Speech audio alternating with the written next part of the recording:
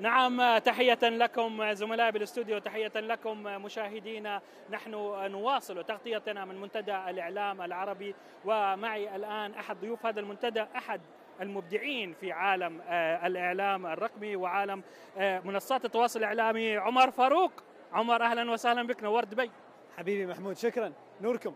الله يخليك. عمر يعني آه، شهادتي فيك مجروحة. أنت ربما تكون قد يعني أسهمت إسهام كبير في رفض المحتوى العربي من خلال وسائل التواصل الإعلامي. وربما تكون أحرجتنا إحنا كإعلاميين من ناحية القيمة التي تقدمها من خلال آه، يعني من بداياتك إلى آه، الحلقات التي يتابعها نتابعها إحنا وأبنائنا أيضا. ما هي الرسالة التي جعلتك آه، يعني تبدع في هذا المجال؟ حلو أول شيء الخير في الجميع. خير فيكم. وكل واحد عنده زاويته وما شاء الله عليكم متلقين. أعتقد نحتاج اليوم بعد سنين مئات السنين يمكن من الإعلام نحتاج فكرة إن نجيب شيء جديد. زوايا جديدة يونيك آه، مواضيع مختلفة حتى أسلوب طرح مختلف. فيمكن آه، فكرة عمر يجرب هي كانت مميزة أو جديدة على الإعلام العربي أكثر. طيب إحنا فكرة عمر يجرب ما الذي أضافته إليك أنت كعمر وهل تعتبر نفسك الآن آه، فعلا إعلامي صاحب رسالة؟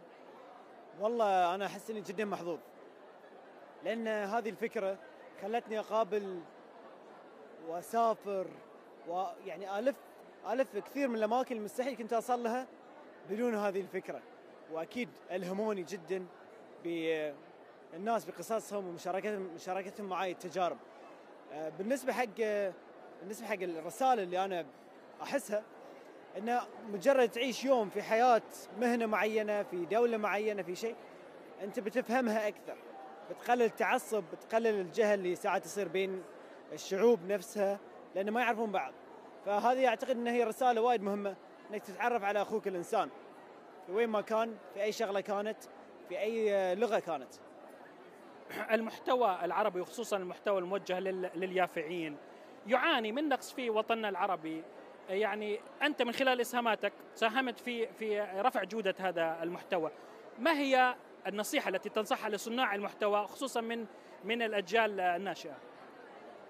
كل محتوى مطلوب وتنوع المحتوى مطلوب ترفيهي جدا مطلوب. رسالتي إن أنت لا تقلد شفت شيء ناجح مو بس أنا بقلده عشان أصير نفسه. أنت عندك رسالة في الحياة ابحث عنها. اهدأ تشوف الأمور. وابني رسالتك. انطلق لها.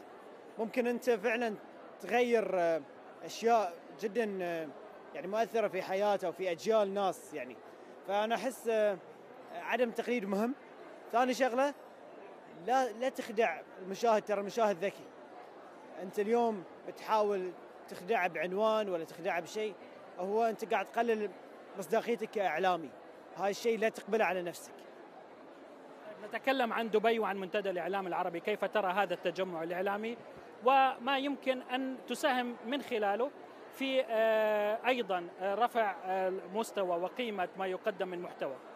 والله اليوم أنا أول مرة أحضر المؤتمر. ووجودي هني لأتعلم من الخبرات واللي من القامة الإعلاميين موجودين هني. ما شاء الله عليهم. هذه هم الناس اللي قضوا سنين في هذا المجال.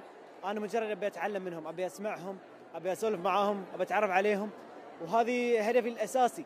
ما عندي أي شيء أقدمه كثر ما هو إني أتعلم. وإذا آه، صار بيننا نقاش واضفت شيء هاي بيكون الحمد لله.